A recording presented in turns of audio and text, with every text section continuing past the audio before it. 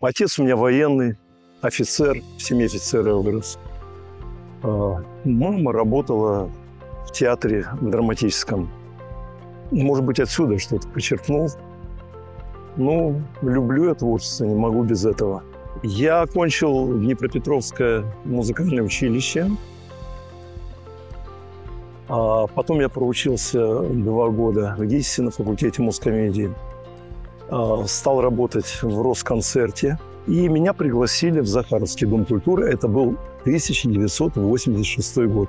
Вот с тех пор я здесь работаю.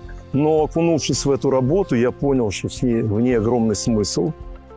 С людьми нужно работать в творчестве по-настоящему, а, добиваться каких-то результатов, видеть эти результаты.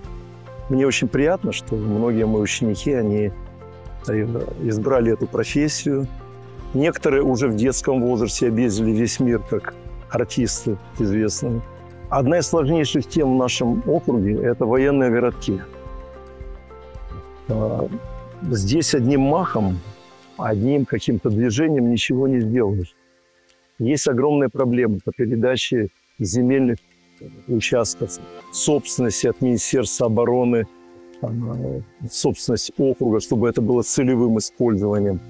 Эта программа не на один год.